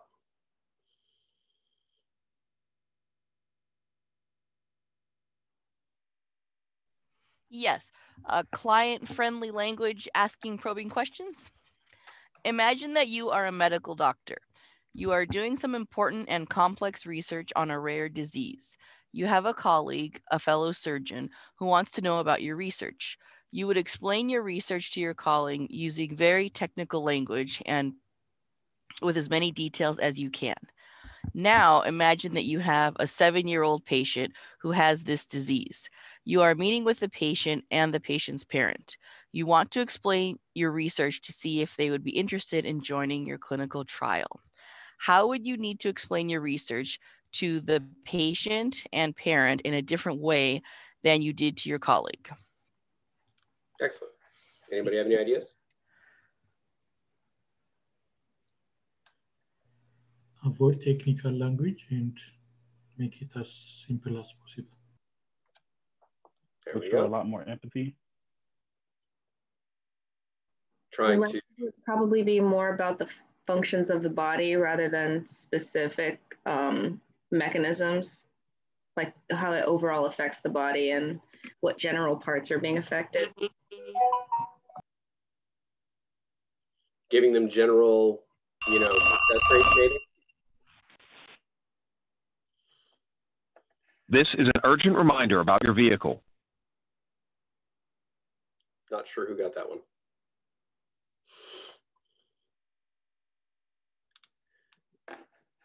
All right. Yes, and lastly for this one, um, Robert, can you please assist? asking probing questions. Uh, I would not use as many details as I did with my colleagues. I would use terms and examples that the patients and parents will understand. I would tell them the truth, but keep it simple and try to make analogies if possible. Excellent. The screen just changed. I don't know how that happened. There you go. I would tell them the truth, but keep it simple and try to make analogies if possible to help them understand. When you are speaking with clients, you need to make sure to explain concepts to them in a way that they will understand using client friendly language. Will make sure that they understand that you both have overall strong communication. Excellent. Is it important to develop a relationship with your customer?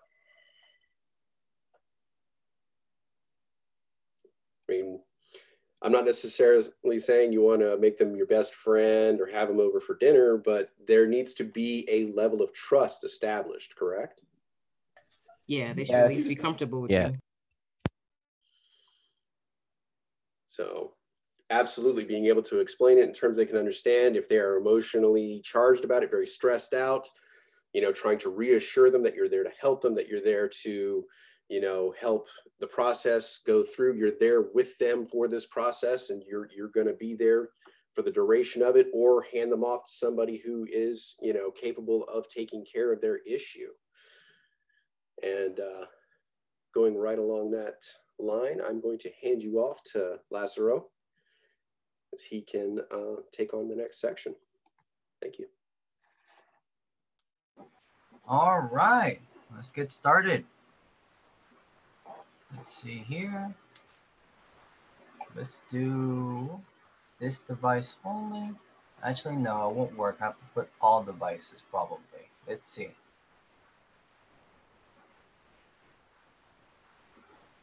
All right. Let me make sure the video voice only goes to. Now, funny thing, we had intended to do the same troubleshooting scenario as last time with just one stick of memory out. The problem is that some of our vendors, like Dell, only put one bloody stick of memory in the system, and that wouldn't be fair to them versus the ones that did install dual channel memory. Oh, okay, it's not working as it's supposed to work, but there was supposed to be a question that popped out. Let's see. Question Who's controlling Nearpod right now? Yo, Okay. If you want a question, that would be next, no? A funny thing. Okay. Let There's me nothing screen here. share. Let me screen share because mine's is working, but that one's not coming out correctly though.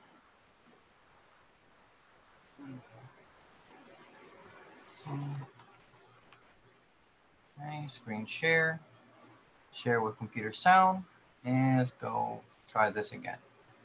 Okay, so let's just try that again. thing. We had intended to do the same troubleshooting scenario as last time with just one stick of memory out. The problem is that some of our vendors, like Dell, only put one bloody stick of memory in the system, and that wouldn't be fair to them versus the ones that did install dual channel memory. Uh, All right, we're gonna start the activity. So basically, this is a secret shopper, and the lady there called Sarah is having a problem with her computer calling tech support. How will you think the tech support will do with Dell based on his reaction? So far, I don't have any answers, but I'm just curious. Someone said bad, okay. Any others? Oh, a lot of people are saying bad. Okay, a lot of bad. No okay, no good. Okay, some people are saying okay, okay, all right. What about? Okay, all right. Oh, one person said amazing. Okay. Well, let's see how well they did. Let's take a look. Next question. When you start the computer, uh, do you at least see the Dell logo, ma'am? I mean, she did just tell him that the screen doesn't go on, so how would she see a Dell logo? I do see the Dell logo. Oh, No, Sarah, that's the wrong Dell logo. Oh, okay, that's not. Oh no. Um, sorry, I thought you meant the Dell monitor on the PC. I actually don't see the Dell monitor or the Dell logo on the monitor. I mean, look, it's his job to help people like that. Yeah, yeah. Unplug the uh, power cord from the back of the uh, computer tower. Okay, we're six and a half minutes in. We have an unplugged computer. Please press and hold the power button on the tower for one minute of time without the power cable. I'll let you know when to release it. She's still holding. Oh my God, she's been holding it for two minutes. Yeah. Okay, here we go. Close it in.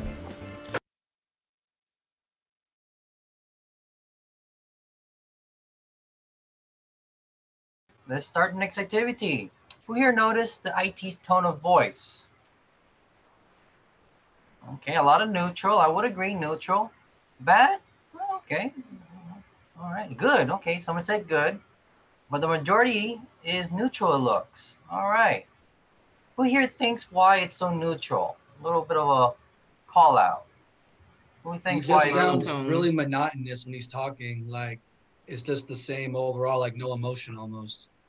no emotion? He's calm though, is he not? Yeah. He's calm. She, she's not angry yet calm. though either. So that could be angry, why. but who is angry? the one who bought the computer.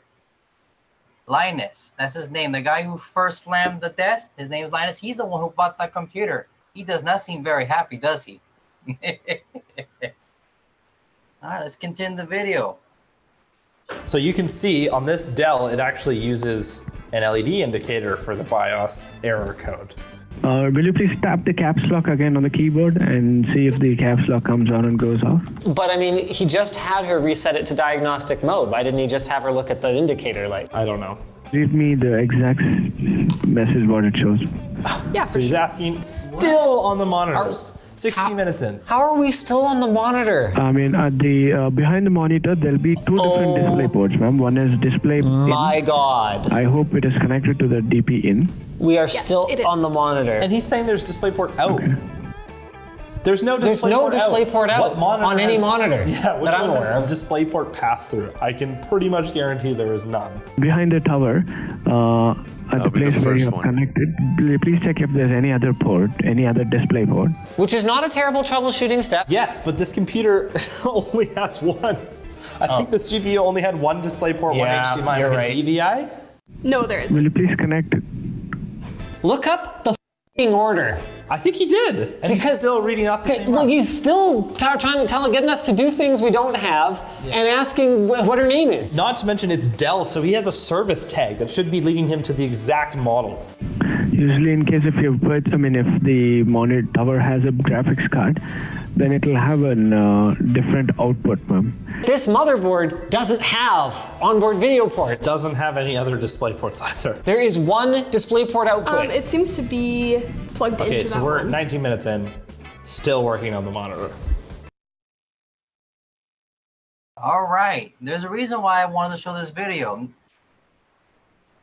How upset did the client seem? And this is Sarah specifically, when you saw the close-up to Sarah. Do you think she was upset? All right, good, amazing.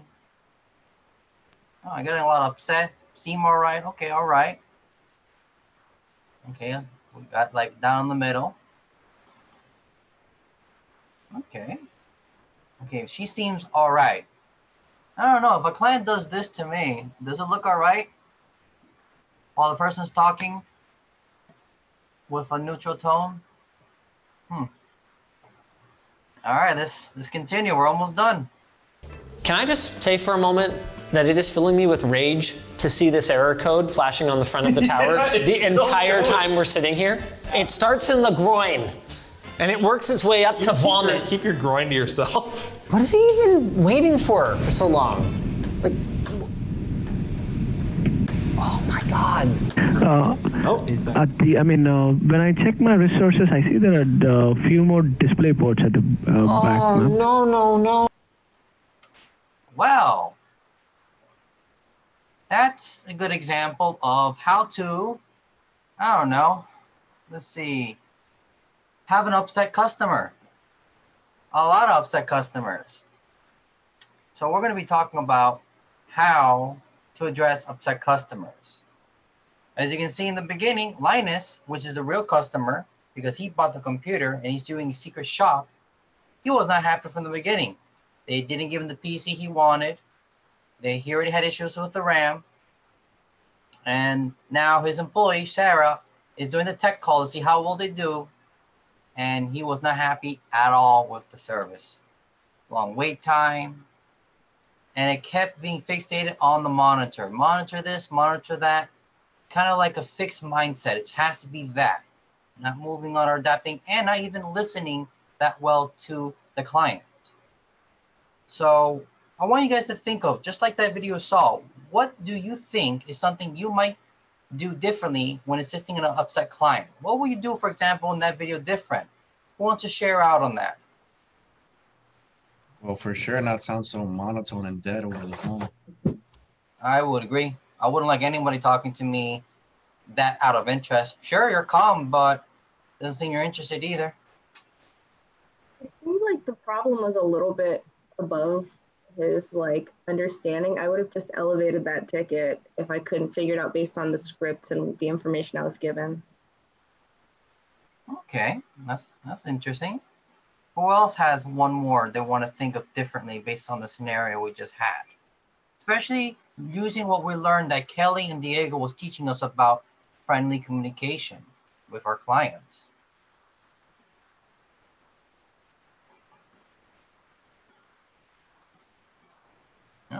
You could probably ask more probing questions. Ah, you hit it right there. Ask probing questions. I believe if the technician from Dell asks a proper question of probing, saying, hey, what's really going on with the computer, versus let's go through a script and keeping stuck on a monitor, for example. That would have been a great way to start. So let's move to the next part. And now we're going to talk about the nine steps of addressing clients that are upset. You got one, remain calm, which a technician did. Don't take it personal, which a technician also did. And it's very good that we mentioned that very deeply. Never be offended. Do the best you can and don't take it personal. Use your listening skills, just like we taught today when we're playing the drawing game. Use the best drilling skills you can. Show that you heard what the client said. Improvise. Sorry, express sympathy. Apologize gracefully. Find a solution. Start the solution in motion and communicate appreciation. These are all little things we're gonna now break up and use the video. The video that I had is gonna be something I like to mention a lot. So the video, the technician was very calm. This is good. You always want to be calm. It's important to also mention that you want to be able to control your breathing as well. That will help you stay less stressed. So if you ever find yourself in a hard situation, try your best to remain calm by deep breathing or maybe give yourself a few seconds somehow. You can always tell the client, hey, can you please give me one moment? Try to put them on hold, take a breather. Sometimes you just need to take a very small break to reset your mindset and get back into it. And then, of course, number two, which is probably, in my opinion, the hardest step, is don't take it personal. The client may say some really mean things to you, really mean. But remember, they're more angry about the situation and what has happened to them than you. So don't take it personal, even if they want to take it personal. You just don't take it personal. Remember, you're there to help them. And you can always go back to step one to remain calm if things just don't turn out too well. And then step three, you want to listen. It may be difficult to listen what they're going to tell you if they're very angry. Trust me on that. But as long as we stay calm, we don't take it personal. We have the ability to listen to what is their issue so we both understand and better handle the current situation. We show them that we care about their problems as well.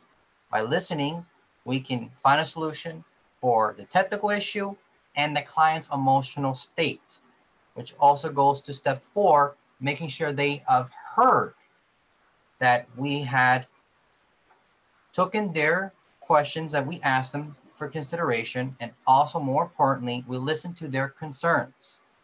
So you can always reinstate their concern back to them. So you make sure it's correct. Like when you ask those questions in the Diego game, as I like to call it, we have to draw. You guys ask question about how big should the circle be? How small should the circle be? That is part of this step where you have to make sure you tell the client, oh, is the computer not working? Oh, so it looks like the monitor is not coming up. Rephrase nicely as possible as well. Calm, yet not too dead, like the technician did. Over here, five is expressing sympathy. In the video, can anybody here tell me if the technician was showing any sympathy? No. No. And the reason why is just because he wanted to read the script and because I saw the whole video, he was actually messaging one of his other level two support. In other words, another coworker trying to help him with Sarah's issue. He's not playing, he's not using customer focus at that point. He is too fixated on, okay, I don't know what to do here. Sure, you should escalate it, but he's not talking back to the client, which is step four. And worst of all, he's not showing any sympathy. You want to make sure that you tell the client, hey, remember, you don't want to blame anybody, but you can always tell the, uh, the client that You're very sorry about their situation. You let them know that, hey, I'm here to help you. This is not easy. Versus, okay, I'm gonna put you on hold and try to contact my coworker. Did anybody Much see how long that call was? Anybody Yes. notice how long that call was? They said it was, It was was like 60 25 minutes. minutes or something, right? Two hours. If I saw that clock right, it was a two-hour call. The video that he was looking at was a two-hour video. And amazingly, apparently that system had a, a GUI interface in the front, which gave him the error that he needed. And he never bothered to ask if she saw that code in the front. I don't know if you guys saw that he kept on beating the desk and saying, "It's there. The darn errors on the case." Because basically, all he all she had to do is look in the front. I guess there was some type of digital display that had some error code there. If she would have gave him that, it would have been more than sufficient. Second, the guy never even bothered to look up the computer apparently because as we all, if you ever got in a Dell, it has a service tag which says exactly every single piece. The picture comes up.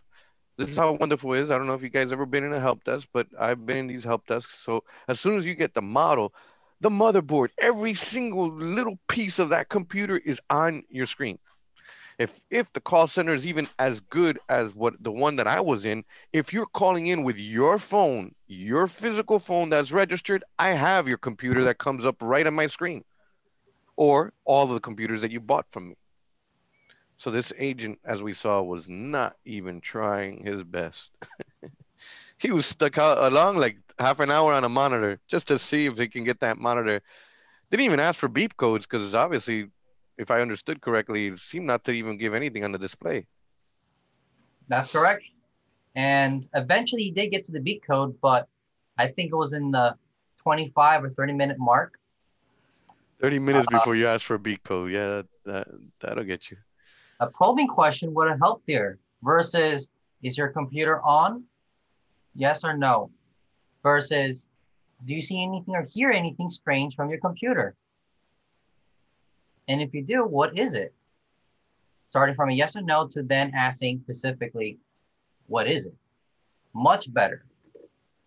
And then did the client even gave a genuine apology, a graceful apology? That's number six of our step here.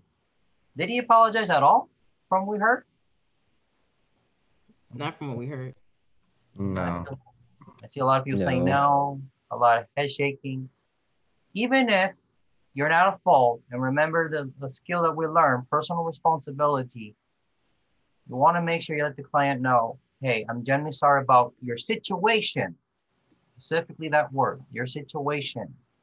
But I'm here to help the best I can, even if it's not your fault. You'll let them know I'm here to help. And one thing I just want to notice, I'm going to skip here quickly. Step seven, eight, and nine is the solution. Step one, all the way to step six is addressing the client's emotional state. So two thirds of the step is making sure the client is doing well mentally. In other words, we're addressing how upset they are. So it's very important you address that the best you can first before you go to the solution. And then that's the big part, the big meat and potatoes. We try to find out, hey, what the client told us, what can we use? What are the options we have? Can we do the best we can to satisfy them? What solutions do we have? I watched the video, and by the way, after who knows how long she waited, they never fixed the issue. And the only solution they offer is to, to ship the computer whole back to the depot.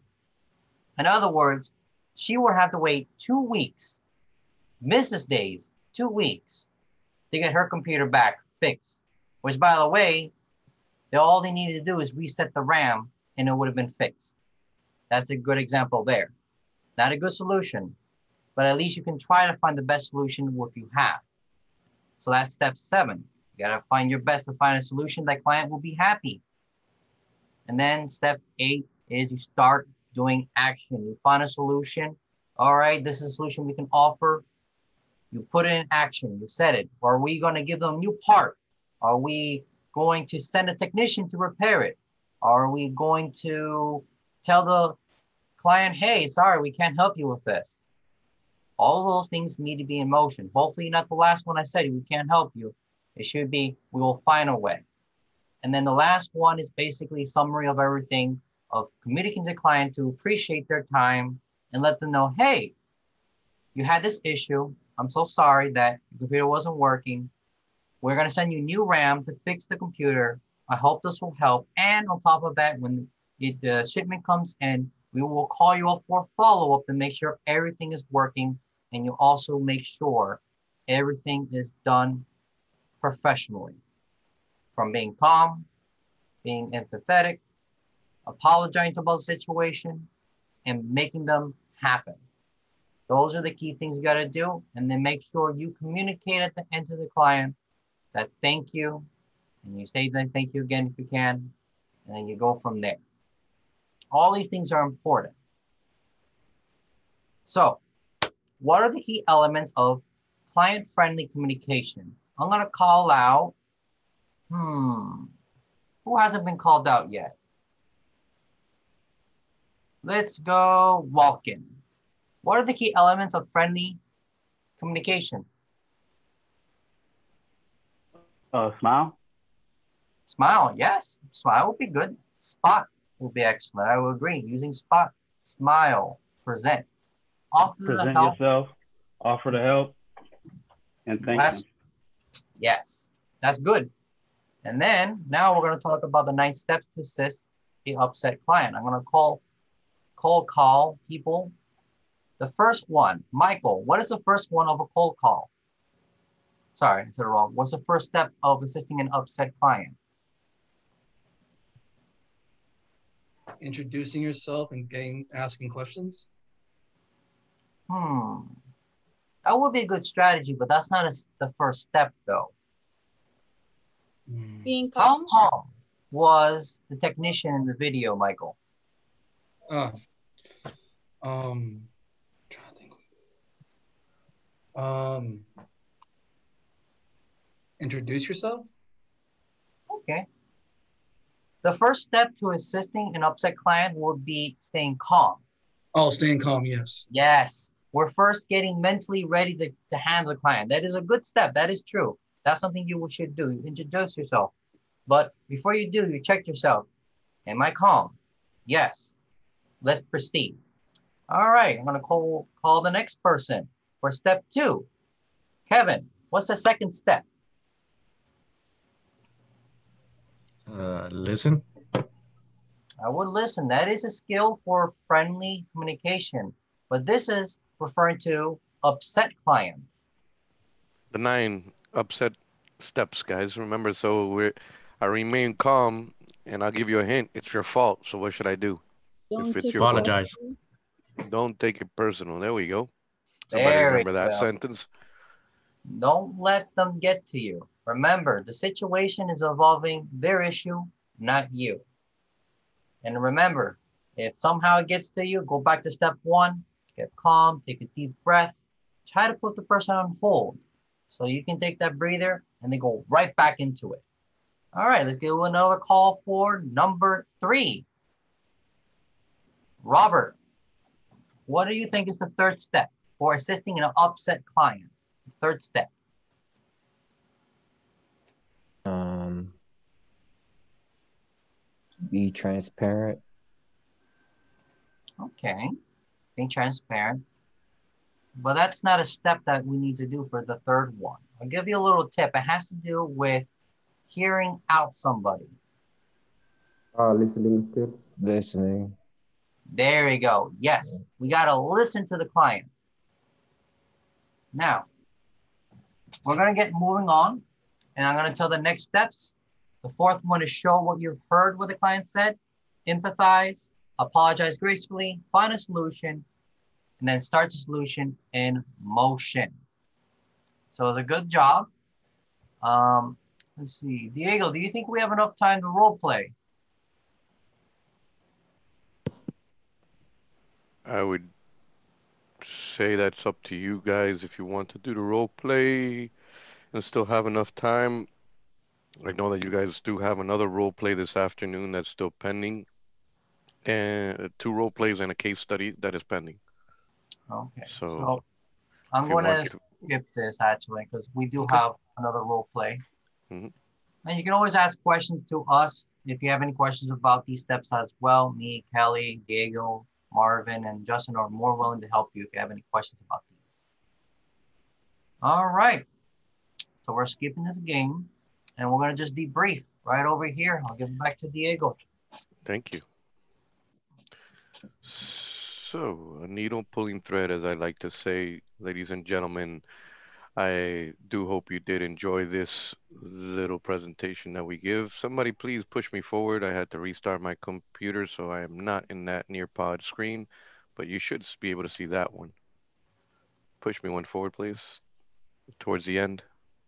Until the end. Thank you. In this session overall, we should have awfully been able now to be able to decipher the best way to communicate with our clients in a friendly and kind, unintimidating way. Hopefully not like this and not sounding at all concerned. I can care less about my accent. It's the tone and voice that is a problem.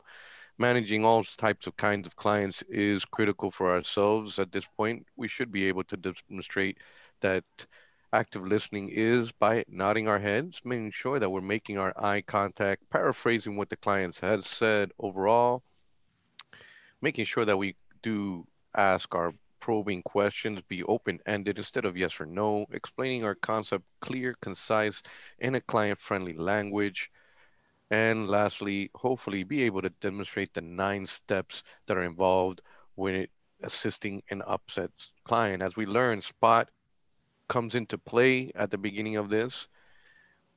Yes, we have smiled, we presented offer, but then at that point, if and when that happens, that we have identified an upset uh, client, I was about to say an upset stomach, something like a commercial here, we need to make sure that we do our nine steps, which is obviously to remain calm, do not ever, ever take it personal, use your listening skills, show that you have heard what the client said by being able to paraphrase briefly what they explained, express sympathy when necessary, apologize gracefully and sincerely. Do not blame anyone in your apologies. You're not going to blame them. You're not going to uh, blame anyone. I'm sorry that you don't know how to download that file. Did that sound right? If I told you that, I apologize. I'm sorry you that you don't know how to download the file. Did that sound right? No, no, you're placing blame. Not at all. I do it's just apologize that you're having issues downloading this file. Let me see what I can do to help you. Did that sound better? Yes. Yeah. We need to be very careful in the way we express things because a lot of times we get tired and we do obviously understand at that point it was an ID10T error because I'm noticing that the guy maybe just doesn't notice that the little icon's down there and is in his download folders and God only knows he keeps on clicking to download, download, and he's got 50 downloaded files. Sorry, I feel better. It happened to me. But either which way, I didn't tell him that he just didn't know what he was doing. I just asked him in a nice, friendly way to obviously try to alleviate the issue. We're not going to blame anyone, not even the user themselves at any point. Questions or concerns on this before we complete this one?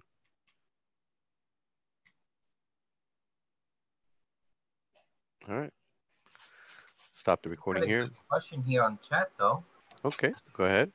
All right, question is, is that allowed to communicate clients with a language they understand apart from English? Who, what, when, how? Repeat that question. Is that allowed to Is that communicate allowed? clients? Is it allowed? Okay, is it allowed to communicate with a client with the language they understand apart from English? That it all depends on the policies and procedures of your company. For example, when I was in UPS, I was able to speak freely Spanish, English, Portuguese. If I knew French, I was allowed to speak it. As long as I, it was the language that the customer was speaking to me, there was no issue speaking their language. Now, put yourself in Broward, take yourself out of Miami-Dade, and you have a 99% chance that that's not an acceptable language. You might have to speak the English language. That is all depending on the call center that you're in. I could only imagine, obviously, that a lot of them nowadays are allowing you to speak the language that the client is speaking. Once again, policies and procedures are in place to be able to help you decipher and answer that question. Good one. Any other ones?